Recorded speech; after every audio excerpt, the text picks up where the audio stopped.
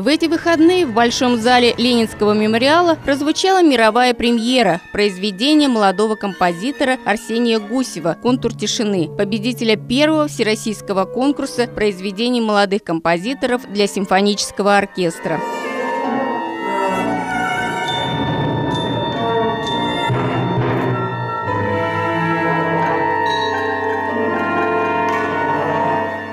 Конкурс проходил в рамках шестого международного фестиваля актуальной музыки «Другое пространство». По условиям конкурса произведения финалистов должны исполнить ведущие симфонические оркестры России. Ульяновский государственный академический симфонический оркестр «Губернаторский» под управлением Ильи Дербилова первыми представили премьеру конкурсного произведения. Оркестровую пьесу «Контур тишины» выбрал для исполнения сам Илья Дербилов, который входит в состав дирижерского жюри конкурса. Должен сказать сразу, что произведение очень сложное для исполнения, и тут я должен, э, во-первых, поблагодарить э, музыкантов нашего Ульяновского академического симфонического оркестра за то э, понимание, за то терпение, с которым они отнеслись к этому сочинению, потому что чем старше человек становится, тем он понимает, что писать нужно как можно проще для оркестра.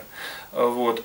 У Арсения вот с одной стороны, юношеский максимализм, с другой стороны, конечно, безграничный талант, потому что это очень талантливый человек, это очень талантливый музыкант. В этот же вечер с симфоническим оркестром выступил лауреат международных конкурсов Михаил Пачекин, или, как его еще называют, русский Паганини. Вообще мне очень повезло, у меня брат мой старший э, скрипач Иван Пачекин, вот, э, мама педагог, профессор скрипки, а папа скрипичный мастер, собственно, скрипка, на которой я буду сегодня играть, сделана моим отцом. Талантливый молодой скрипач исполнил три пьесы Петра Ильича Чайковского «Размышления, скерца, мелодия», которые объединены в цикл под названием «Воспоминания о дорогом месте». Концерт проходил при поддержке Министерства культуры Российской Федерации в рамках программы «Всероссийские симфонические сезоны». Ирина Антонова, новости Ульяновской правды.